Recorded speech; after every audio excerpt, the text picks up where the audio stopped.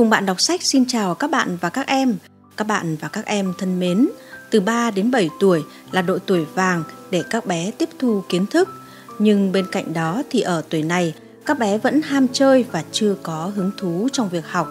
Vậy làm sao để trẻ em thấy hứng thú mỗi khi học, thích học và làm sao để các bé phát triển toàn diện? Bộ sách tự xóa thông minh sẽ giúp các cha mẹ có thể có thêm một phương tiện hỗ trợ cho các con. 8 cuốn sách gồm 8 chủ đề khác nhau cùng với các kiến thức tổng hợp nhất sẽ giúp các bé có cái nhìn khái quát và phát triển toàn diện về thế giới xung quanh. Hãy cùng khám phá ngay bộ sách tự xóa thông minh. Bộ sách gồm 8 cuốn phù hợp với các bé ở độ tuổi từ 3 đến 7 tuổi.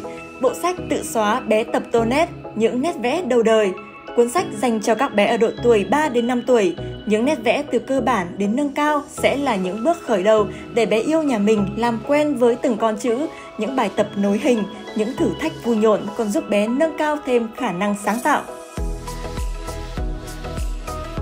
Sách tự xóa bé vào lớp 1, người bạn đồng hành đắc lực của các bé khi vào tiểu học để xứng đáng là trợ thủ đắc lực của các bé. Đầu tiên là bé sẽ được làm quen với các hình khối, tiếp đó là bảng chữ cái trong tiếng Anh. Với những trò chơi tìm cặp từ cùng vần trong tiếng Anh, các tháng trong tiếng Anh là gì?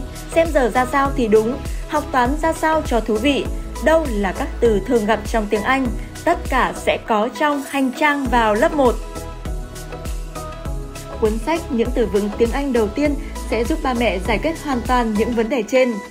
Với mỗi một từ tiếng Anh bé học được sẽ có hình ảnh minh họa sắc nét giúp bé nâng cao khả năng ghi nhớ. Bên cạnh đó, bé sẽ được viết, được thực hành, được chơi trò chơi luôn trên cuốn sách thần kỳ mà vẫn có thể hô biến trở lại như mới một loạt các chủ đề được đề cập đến như các bộ phận trên cơ thể, thú cưng, động vật trong vườn thú, động vật trong nông trại, sinh vật biển, trang phục, đồ vật trong nhà, phương tiện giao thông, màu sắc, hình khối, chữ số, thức ăn, thời gian sẽ giúp các bé mở rộng đáng kể vốn từ của mình đó nha.